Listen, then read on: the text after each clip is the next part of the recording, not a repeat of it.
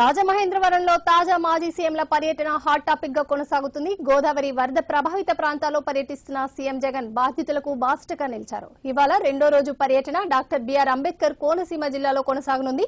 రాజమహేంద్రవరంలో R&B guest హౌస్లో రాత్రి బస్ చేశారు. ఇవాళ అక్కడి నుంచి నేరుగా వరద ప్రభావిత ప్రాంతాలకు వెళ్ళనున్నారు. హెలికాప్టర్ ద్వారా కోనసీమ జిల్లా గురుచప్పలంక చేరుకొని ఆ గ్రామంలోని వరద ప్రభావిత ప్రాంతంలోని ప్రజలతో మాట్లాడనున్నారు. వారు ఎదుర్కొన్న ఇబ్బందులకు తెలుసుకొని వారికి ప్రభుత్వం అందిస్తున్న సాయం గురించి వివరించున్నారు సీఎం జగన్.